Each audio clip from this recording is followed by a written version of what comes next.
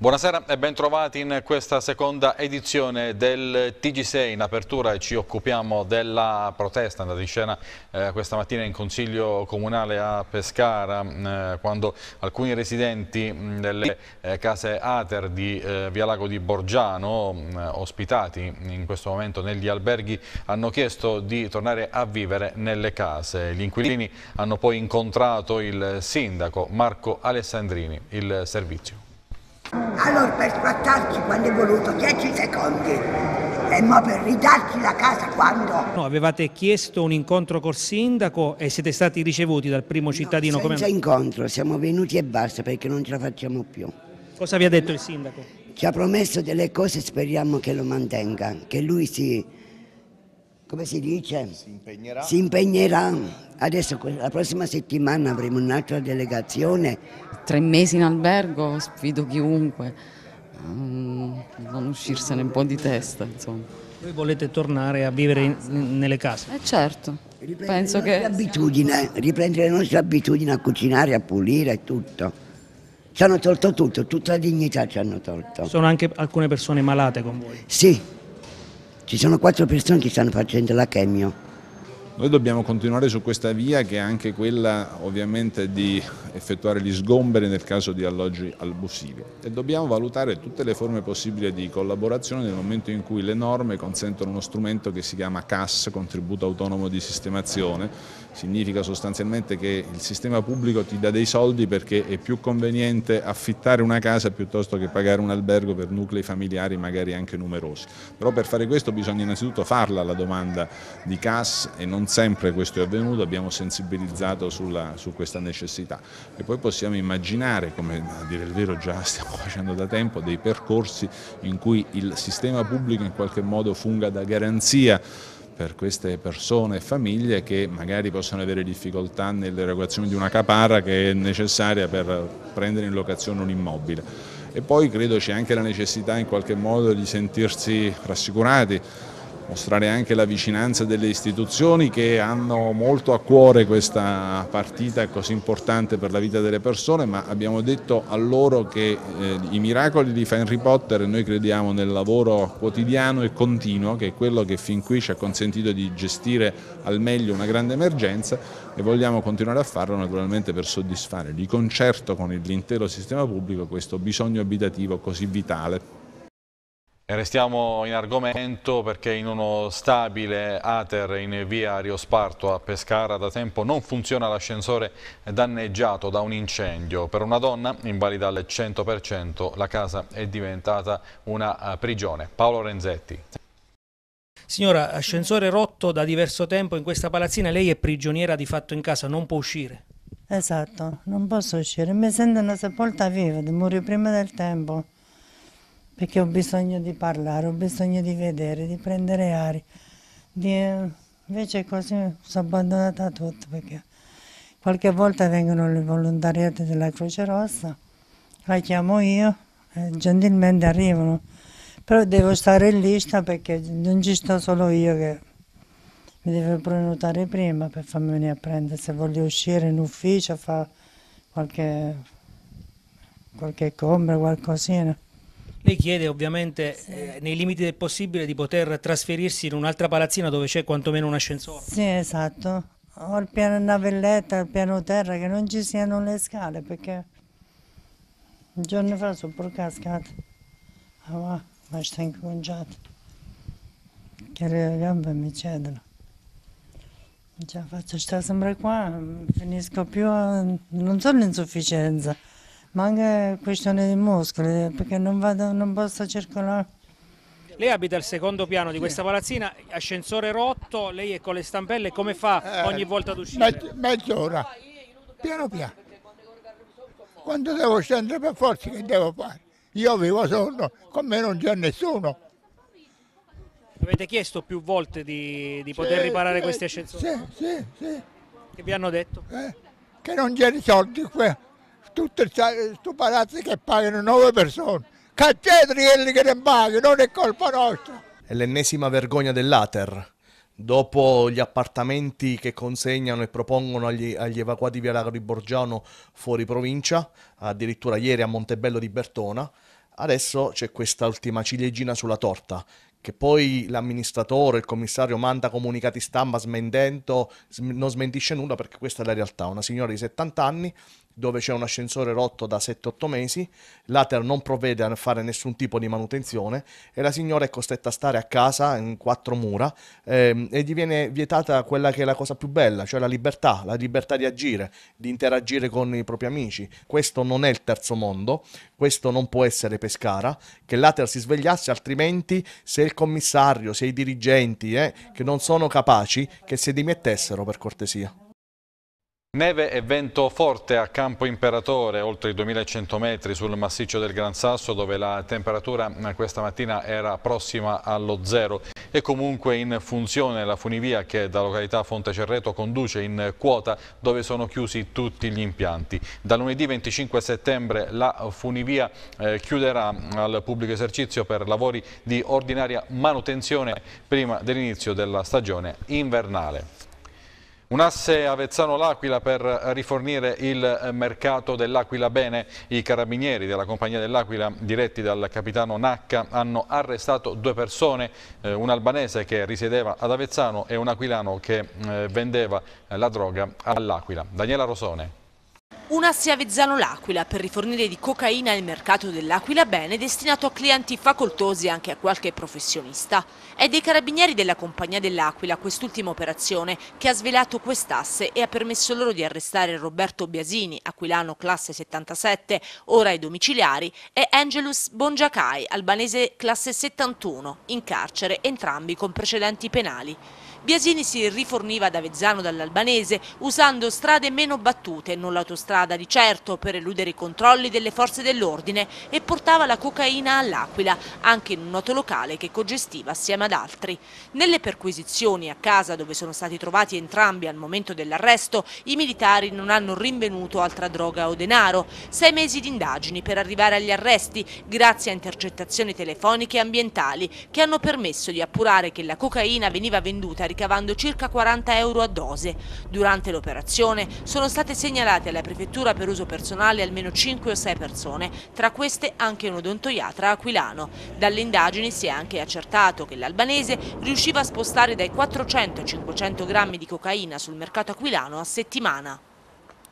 Sono stati 47 a Pescara e 106 in ambito provinciale tra il 15 giugno e il 15 settembre i servizi di ordine e sicurezza pubblica disposti dal questore Francesco Misiti con l'arresto eh, di 61 persone e la eh, denuncia di altre 361. Sul fronte della prevenzione intenso è stato l'impegno della Digos nel monitoraggio dei movimenti sociopolitici e nel controllo di manifestazioni all'aperto. Incisiva è stata l'attività della squadra mobile nella prevenzione prevenzione e repressione dei reati con l'esecuzione di 16 arresti in flagranza e di 10 eh, misure di custodia cautelare. La capillare azione di controllo del territorio con gli equipaggi della squadra volante del reparto prevenzione crimine Abruzzo, nonché con il prezioso contributo del personale specializzato della squadra degli artificieri e delle unità cinofile, hanno portato all'esecuzione di diverse operazioni di contrasto alla prostituzione e allo spaccio di droga. Numerose le attività di controllo nei locali pubblici e negli esercizi annessi agli stabilimenti balneari dove gli uomini della mm, Divisione Polizia Amministrativa Sociale e dell'Immigrazione hanno registrato 28 infrazioni in massima parte di natura amministrativa denunciando 4 persone all'autorità giudiziaria. Preziosa è stata ancora una volta la sinergia messa in campo tra tutte le forze di polizia sul territorio provinciale. Un romeno di 49 anni è stato arrestato dalla squadra volante della questura aquilana per maltrattamenti in famiglia. Da circa tre anni sottoponeva la giovane convivente a minacce, umiliazione e percosse continue. La squadra volante della questura dell'Aquila, coordinata dal dirigente, il dottor Roberto Mariani, ha arrestato un cittadino romeno ieri sera per maltrattamenti in famiglia. A segnalare l'episodio in questura una telefonata al 113 che parlava di una violenta lite che coinvolgeva una donna. Gli agenti della Volante, arrivati a Bazzano nel progetto Case, hanno notato una ragazza straniera con ecchimosi sul volto, molto spaventata, che tentava invano di difendersi dalla furia dell'uomo. I poliziotti, non senza difficoltà, sono riusciti ad allontanare l'aggressore dalla donna e a prestare soccorso alla ragazza, che è stata poi portata all'ospedale San Salvatore dell'Aquila per le cure del caso. Dai riscontri effettuati dalla polizia è emerso che l'uomo, un 49enne rumeno, da diverso tempo, da ben tre anni per l'esattezza, era solito solito avere questi atteggiamenti intimidatori nei confronti della sua convivente. La donna infatti era già stata vittima di minacce ripetute e percosse anche in altre occasioni, era stata oggetto di cure mediche. Sorveglianza e risposta alle arbovirosi trasmesse da zanzare con particolare riferimento ai virus cikungunya, dengue e zika. Questo è il tema dell'interrogazione presentata dal consigliere regionale del Movimento 5 Stelle Domenico Pettinari. Una comunicazione che il Ministero della Salute avrebbe inviato alla Regione Abruzzo e a sua volta alla Regione Abruzzo a tutte le AS abruzzesi per eh, allertare sull'arbovirosi trasmesse da zanzare, con particolare riferimento a dei virus che sono il chikungunya, il tenche e lo zika. Io ho il dovere come consigliere regionale, come cittadino di chiedere alla Regione Abruzzo, mediante un'interrogazione regionale, cosa è stato fatto fino adesso, se ci sono stati dei casi e dei campioni già trasmessi al laboratorio regionale, al laboratorio nazionale dell'Istituto Superiore di Sanità, se le ASL sono pronte per eh, mettere in atto tutte le operazioni di precauzione e di contrasto su questi fenomeni che impattano gravemente e possono impattare sulla salute dei cittadini cittadini, soprattutto sugli immunodepressi, sui bambini e sulle persone anziane. Ecco, questo vogliamo sapere. Se le ASL sono state anche messe in condizioni di operare, io so che ci sono delle ASL in Abruzzo molto pronte, molto preparate, con degli uffici strategici che si occupano di questo, altre un po' meno, che non hanno queste, queste specificità. Quindi eh, eh la Regione Abruzzo deve riferire in Consiglio. Ho chiamato il Presidente della Regione, l'assessore competente a riferire in Consiglio, a dirci come stiamo messi in Abruzzo, se ci dobbiamo preoccupare preoccupare se sta tutto a posto e se stanno mettendo in atto le precauzioni imposte appunto dal Ministero della Salute, perché questo dice il Ministero della Salute, non è che ha mandato solo una comunicazione, ha detto attenzione, attivatevi secondo il piano nazionale, il piano nazionale per la sorveglianza sulle arbovirose trasmesse da zanzare prevede cose specifiche, lo stiamo facendo in Regione Abruzzo? Punto interrogativo, mi devono rispondere. È stato installato nell'ospedale della Valvibrata di Santomero il nuovo centro regionale di eh, farmacovigilanza. Quello delle reazioni avverse ai farmaci è un problema che a livello europeo causa il 5% degli accessi al pronto soccorso. Alfredo Primante. La Regione Abruzzo ha affidato alla ASL di Teramo il centro regionale di farmacovigilanza che si trova all'interno dell'ospedale di Santomero. La responsabilità di questo ufficio è stata affidata alla dottoressa Elenia Senesi, dirigente farmacista presso l'azienda sanitaria teramana e figura professionale adatta a svolgere le funzioni di responsabile per la farmacovigilanza. Gestirà sia i progetti di farmacovigilanza attiva regionali ma anche il, darà supporto ai responsabili locali locali eh, farà formazione e informazione a tutti gli operatori sanitari in merito alla farmacovigilanza.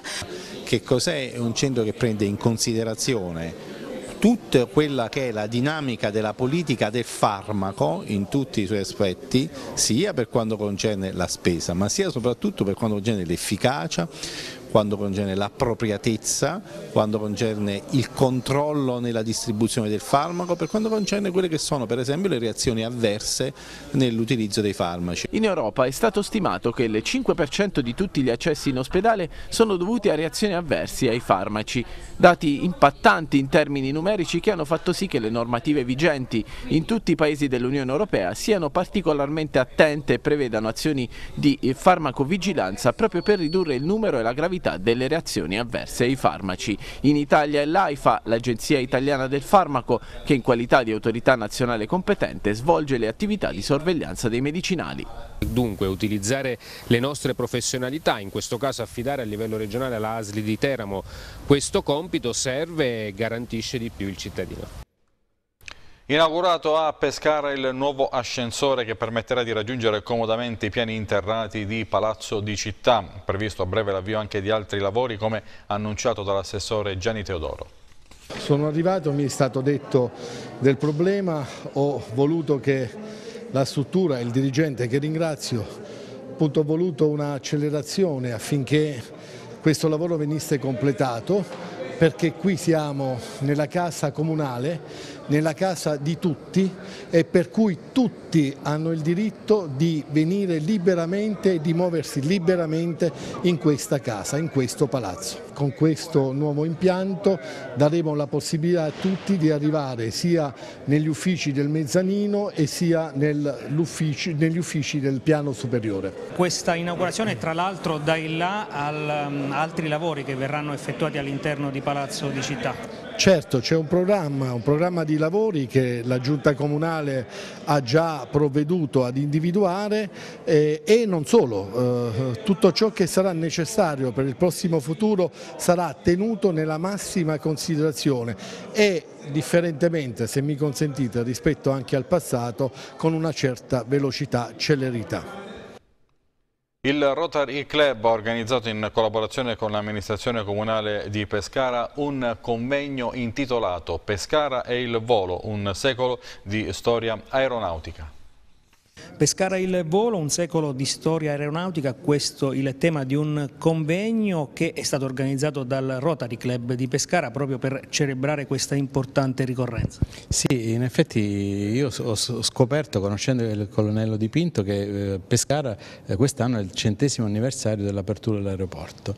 Siccome l'aeroporto ritengo sia una cosa molto importante per lo sviluppo della città, eh, mettere l'evidenza della città, questo, questo eh, onomastico diciamo, anniversario e ritengo sia importante, parleremo del passato, quindi quando è nato l'aeroporto e, la storia insomma, di tutto l'aeroporto e poi ci sarà il Presidente della Saga che invece ci parlerà del futuro dell'aeroporto e quindi sapremo anche dove stiamo andando per quanto riguarda questa attività. Peraltro ho saputo cose importanti, sembrerebbe che uno dei primi voli civili sia partito da Pescara, Pescara-Roma nel, nel 2018-2019, lo sapremo domani, eh, il colonnello Pinto ci spiegherà.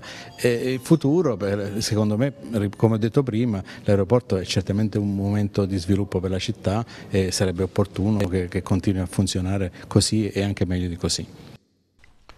Un fine settimana tra spiritualità e divertimento animerà Montorio al Vomano nel nome di San Gabriele della Dolorata. Si racconta che il giovane santo visitò Montorio nel 1859 e che rimase molto colpito dalla bontà di quella gente. Tania Bonici Castelli.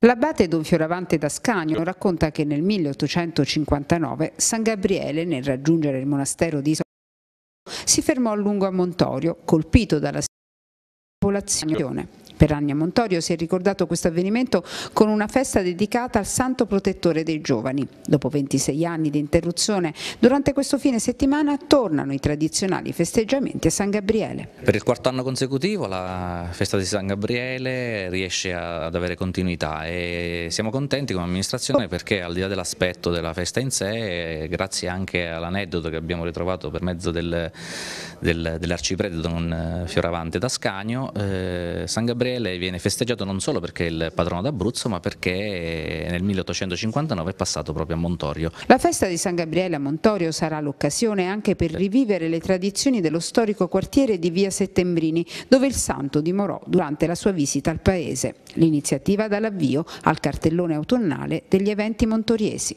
Si parte da venerdì 22 con il passaggio della statua per il, per il quartiere eh, si andrà poi a sabato con eh, diciamo, l'inizio della festa con la processione classica eh, lungo la via, eh, messa, poi ci saranno i giochi popolari in mezzo alla strada per i ragazzini, allietati dalla presenza di Stellina, ci saranno gruppi popolari, eh, la sera ci sarà uno spettacolo teatrale itinerante della Compagnia dei Folli, la domenica si inizierà poi con il torneo di calcio Badillo Umano, la sua seconda edizione, eh, nel pomeriggio nuovi giochi per la via tipo la gara di hula hop, la gara di palleggi, sarà la gara degli spaghetti, inoltre nel pomeriggio ci sarà la possibilità di vedere, di, di provare eh, dei giochi antichi realizzati a mano dall'associazione San Rustico Vicus eh, di Basciano.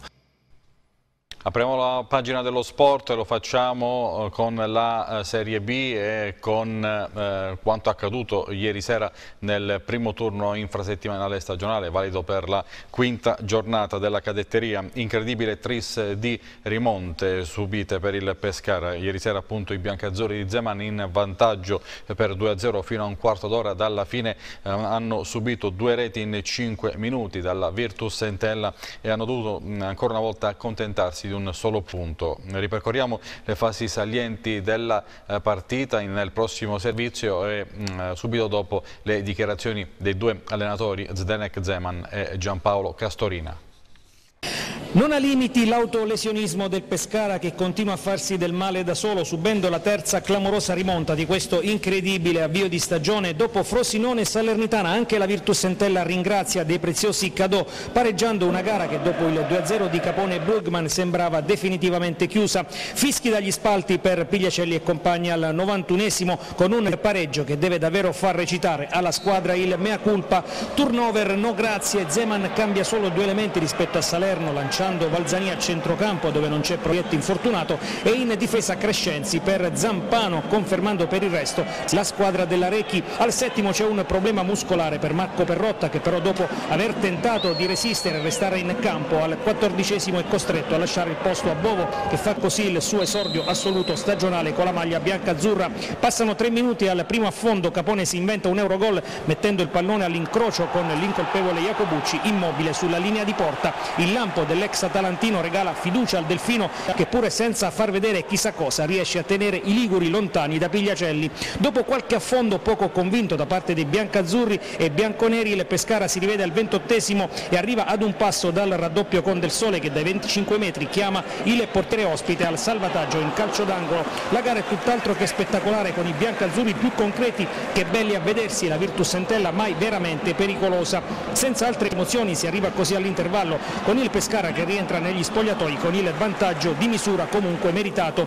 Si ricomincia nella ripresa sotto un vero e proprio diluvio, al quinto si vede subito la formazione di casa con un tiro centrale di Brugman, il campo allentato diventa un alleato per la squadra di Zeman mentre Castorina passa al 4-3-3 mandando in campo la punta la Mantia e il Pescara però a fare gioco visto che al nono è solo la traversa di Reno Mazzotta e al raddoppio degli Adriatici. Nonostante le tre punte la Virtus Entella non punge al contrario del Pescara che va a raddoppiare grazie ad una sassata di Brugman che al diciannovesimo buca dalla distanza la porta difesa da Jacobucci che non può nulla. Il 2-0 mette le ali al Delfino che continua a premere con Pigliacelli che al venticinquesimo è costretto ad anticipare sulla tre quarti di O lanciato a rete.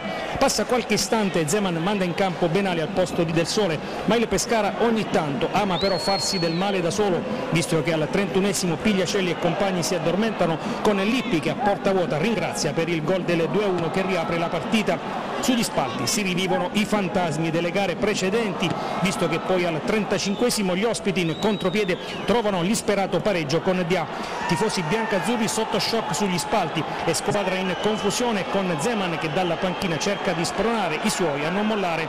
E il Pescara così nel finale ci riprova al 39esimo e Benali in area a trovare una deviazione di un difensore ligure in calcio d'angolo prima dell'errore di Capone che al 94esimo si divora il gol del 3-1 e del del miracolo di Jacobucci che proprio prima del triplice fischio finale di Serra di Torino dice no a Brugman per il Pescara, una serata ancora una volta negativa. Non abbiamo fatto male, Entella ha fatto quelle due cose su errori nostri, su un calcio d'angolo a nostro favore, abbiamo perso la palla e, e su, anche lì su un rinvio lisciato abbiamo preso il secondo, cose che succedono nel calcio e penso che con un po' più concentrazione si possono evitare anche quello. Sì, abbiamo fatto meglio, abbiamo subito meno, io penso che a parte due gol Entela non ha creato, non ha creato problemi. Abbiamo giocato purtroppo anche lì, su due su due palle che non dovevano dire niente abbiamo subito gol da parte nostra. Qualche occasione in più l'abbiamo trovata purtroppo tra il palo e tra, tra errori di mira non l'abbiamo approfittato. Pettinare capocannoniere chi c'è? A, a Dybala lo, lo lasci fuori alla Juventus? Capocannonieri finché ci gira devono stare lì contento di come si sta allenando Gandhi?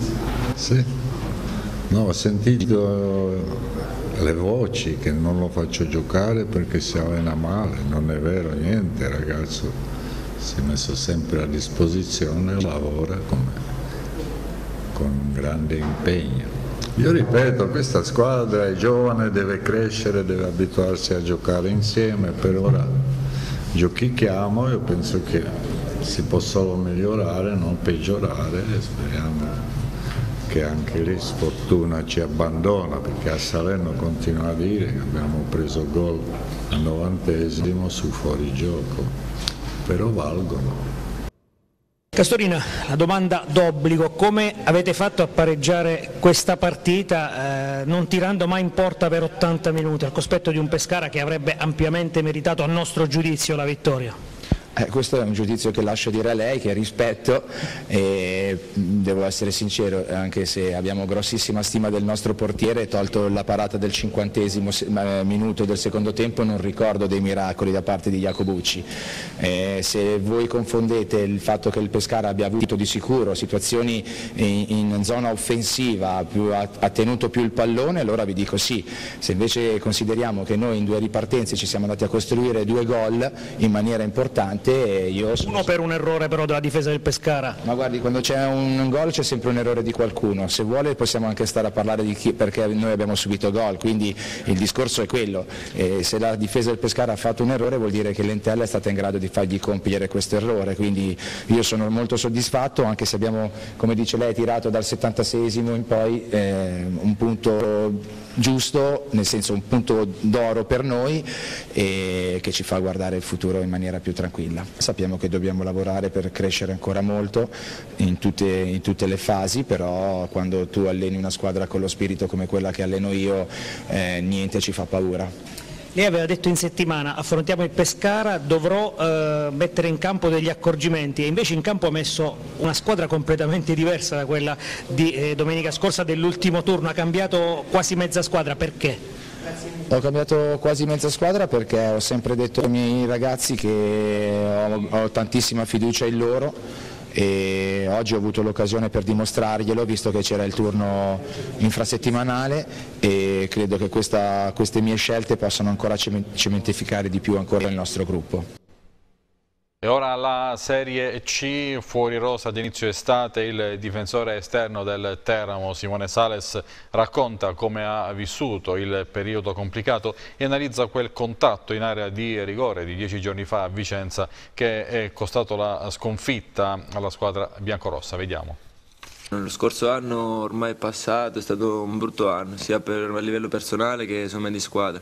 Quest'anno siamo partiti, cioè io parlo personalmente, la società ha fatto delle altre scelte, poi dopo ci ha ripensato, io devo ringraziare la società, il presidente, il direttore e anche il mister.